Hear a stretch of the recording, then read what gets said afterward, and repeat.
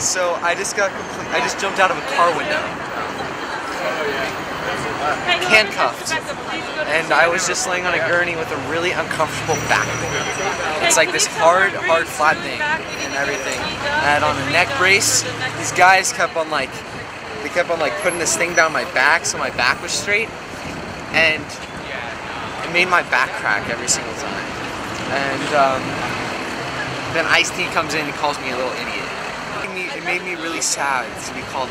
no, I'm just kidding. Um, this kid, this kid's a badass, to say the least. I mean, next he's gonna beat a kid, beat a guy's face into the ground and, and escape a hospital.